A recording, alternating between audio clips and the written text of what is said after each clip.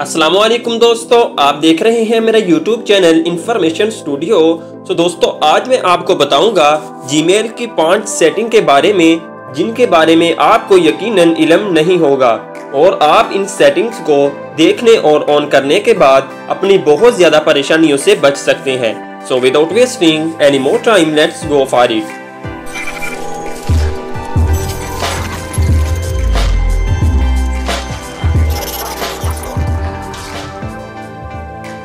तो दोस्तों, अब बात कर लेते हैं सबसे पहले वाली सेटिंग के बारे में। अगर आप चाहते हैं अपनी जीमेल आईडी के इस चैट बॉक्स को यहाँ से हटाना, यानी कि अगर आपको यहाँ पे ये चैट बॉक्स अच्छा नहीं लग रहा है, और अगर आप चाहते हैं कि यहाँ से ये किसी और जगह पे ट्रांसफ़र हो जाए, अपनी राइट साइड पे करना चाहते हैं तो वो आपने किस तरह से करना है तो वो देख लीजिए वो कौन सी सेटिंग है, जिसके तरीके से ये आपका चैट बॉक्स यहाँ से सारे का सारा रिमूव होके आपकी राइट साइड पे आ जाएगा। तो चलिए वो देख लेते हैं सेटिंग के बारे में। तो दोस्तों, आपने सबसे पहले क्या करना है? जीमेल के आईडी को अपने पीसी या फिर अपने जो एंड्रॉइड फ़ोन है, उसमें ओपन कर लेना है। यहाँ पे आने के बाद आपको थ्री डॉट का ऑप्शन के साथ मिल रहा है गेयर का ऑप्शन सेटिंग जिसे आम लफ्जों में बोला जाता है, आपने सिंपली इस पे क्लिक करना है। जब आप यहाँ पे क्लिक करेंगे, थोड़ी सी लोडिंग होगी और आपको सी आर सेटिंग्स का ऑप्शन मिल रहा है। तो आप सिंपली क्या कीजिएगा, इस पे क्लिक कर दीजिए। जब आप यहाँ पे क्लिक करेंगे तो थोड़ी सी और सेटिंग होगी तो आपको एक नए प्रोसेस में शामिल कर लेगा। तो ये देख लीजिए दोस्तों, हमें यहाँ पे इस तरह की सेटिंग देखने को मिल रही है। अब हमने क्या करना है, इस चैट बॉक्स को यहाँ से खत्म करके अपनी राइट साइड पे लेके आना है।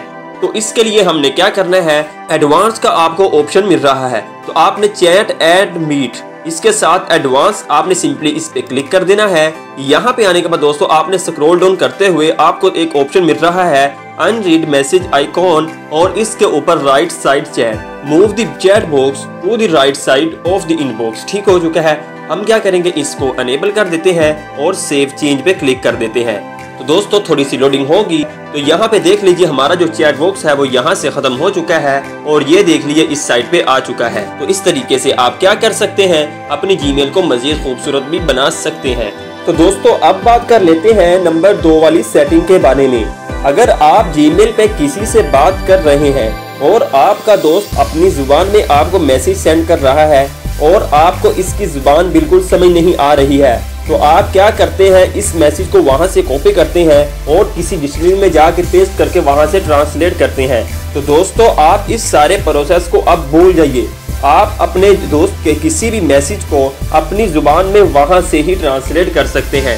जी हाँ दोस्तों, आपका जो मैसेज होगा, जहाँ पे आपके दोस्त ने जो आपको मैसेज सेंड किया है, आप क्या कर सकते हैं, उसी ही जगह से अपने मैसेज को ट्रांसलेट कर सकते हैं। किसी भी ज़ुबान में अगर आप ट्रांसफ़र करना चाहें तो वहाँ से ही कर सकते हैं। तो वो कैसे करना है? सबसे पहले मैं वो मैसेज ओपन कर लेता हूँ, जिसको मैंने क्या करना है ट्रांसलेट करना है। तो मैं इस मैसेज को ही ओपन कर लेता हूँ। यहाँ पे आने के बाद दोस्तों, आपको रिप्लाई के ऑप्शन के साथ थ्री डॉट का ऑप्शन मिल रहा है तो सिंपली क्या कीजिएगा, इस पे क्लिक कर दीजिएगा।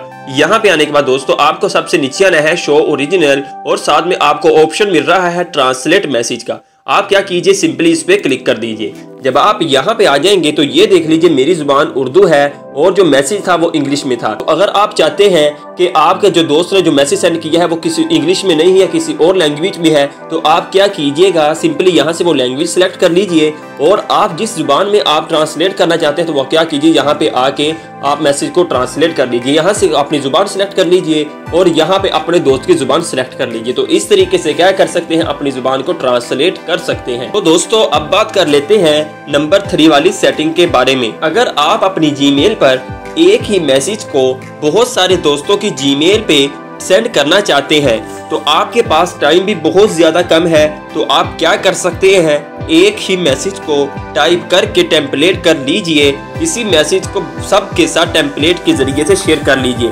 तो वो कैसे करना है? तो चलिए देख लेते हैं। तो इसके लिए आपको सिंपली क्या करना होगा? गेयर के ऑप्शन में अगेन चले जाना है, जिसे आम ज़ुबान में बोला जाता है सेटिंग यहाँ पे थोड़ी सी लोडिंग होगी। आपने सिंपली क्या करना है? सी आर सेटिंग्स पे क्लिक कर लेना है।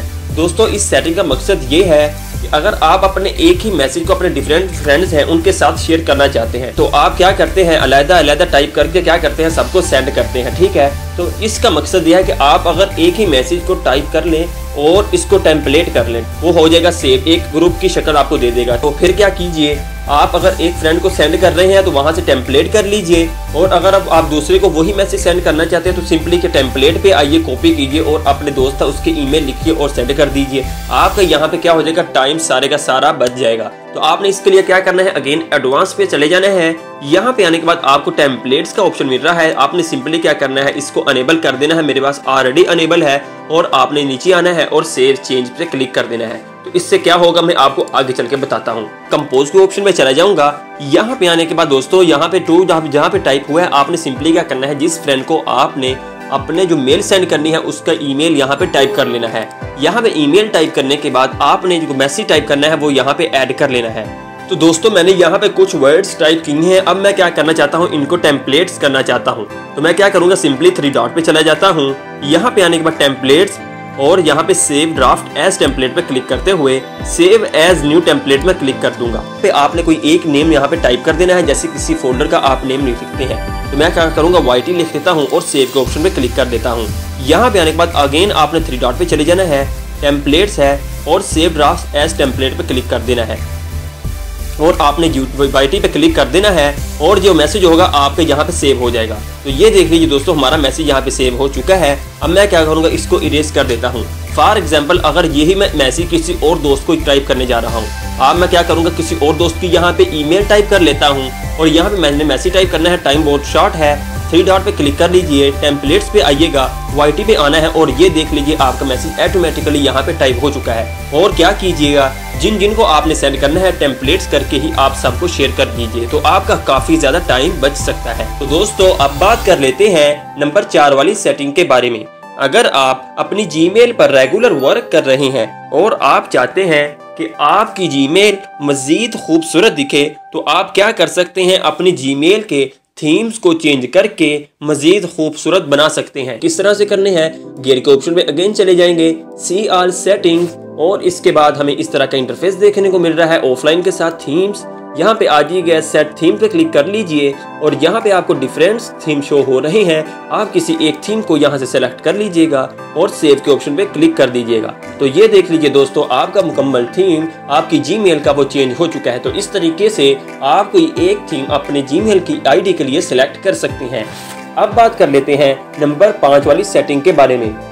अगर आपसे जीमेल में से गलती से कोई मैसेज डिलीट हो गया है, और वो मैसेज भी बहुत ज़्यादा इम्पोर्टेंट था, और बहुत ज़्यादा परेशान भी हैं आप तो आप क्या कर सकते हैं? आपने परेशान नहीं होना है, वो मैसेज आपका वापस आ सकता है। वो एक सेटिंग है जिसको ऑन करने से आपका मैसेज जो डिलीट शुदा है, वो वापस आ सकता है। तो हम क्या करेंगे, वो फौरी तौर पे उस सेटिंग को देख लेते हैं। सबसे पहले मैं क्या करूँगा इनबॉक्स पे क्लिक कर देता हूँ। यहाँ पे आने के बाद मैं पहले बार मैसेज को डिलीट कर देता हूँ। और इसको मैं क्या करता हूँ डिलीट कर देता हूँ। अब मेरे से फॉर एग्ज़ाम्पल ये मेरे से गलती से डिलीट हो चुका है। अब मैं क्या करूँगा सिंपली अब मैं कहता हूँ, वापस लाना चाहता हूँ इसी मैसेज को। तो मैंने क्या करना है आपके इसी पेज पे मोर का ऑप्शन मिल रहा है। आप सिंपली इस पर क्लिक कर लीजिएगा। थोड़ा सा स्क्रोल डाउन करते हुए आपको स्पैम के नीचे ट्रैश का ऑप्शन मिल रहा है। आपने सिंपली इस पे क्लिक कर देना है। जब आप यहाँ पे आ जाएँगे तो ये देख लीजिए, अभी हमारा जो मैसेज वो डिलीट हुआ था, वो यहाँ पे आ चुका है। अब मैं क्या करूँगा, इसको वापस अपने इनबॉक्स में लाना चाहता हूँ तो मैं इस पे क्लिक कर देता हूँ। तो दोस्तों, यहाँ पे क्लिक करने के बाद आपने क्या करना है, अपने माउस का राइट प्रेस करना है। जब राइट प्रेस करेंगे तो आपको एक ऑप्शन मिल रहा है मूव टू इनबॉक्स जब आप इस पे क्लिक कर देंगे तो आपका मैसेज यहाँ से, वो आज चला जाएगा आपके इनबॉक्स में दोबारा से। तो ये देख लीजिए दोस्तों, हमारा मैसेज यहाँ पे वापस आ चुका है। तो इस तरीके से दोस्तों क्या कर सकते हैं? अपने जी की सारी की सारी सेटिंग चेंज कर सकते हैं। तो दोस्तों, ये थी सिंपल सी वीडियो आप सब के लिए आपको वीडियो कैसी लगी है? आपने मुझे कमेंट बॉक्स में ज़रूर बताना है। और अगर आप मेरे चैनल पे नए हैं तो काइंडली चैनल को सब्सक्राइब कर दीजिएगा वीडियो को लाइक कर दीजिएगा, और मुझे कमेंट बॉक्स में ज़रूर बताइएगा कि आपको वीडियो कैसी लगी है। तो मुझे दीजिए इजाज़त। अल्लाह हाफिज़।